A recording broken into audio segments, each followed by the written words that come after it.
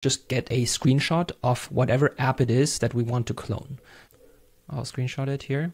I'm going to take the screenshot here, put it into copycoder, select this web applications, and then just click generate prompt.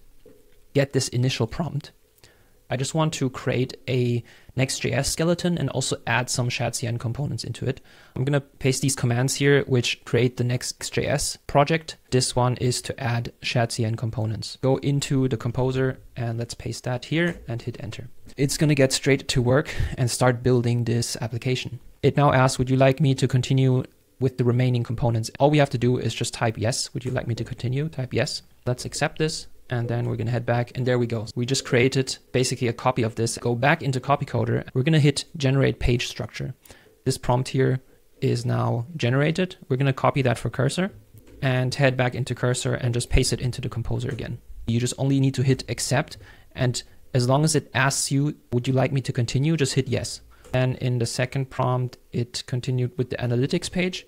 So let's accept that. Would you like me to continue with the reports page? Yes.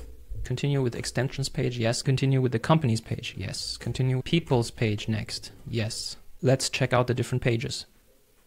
Projects page. Nice. Analytics page is there. Perfect. Reports page. Extensions. Companies page. Awesome. And people's page. Pretty cool.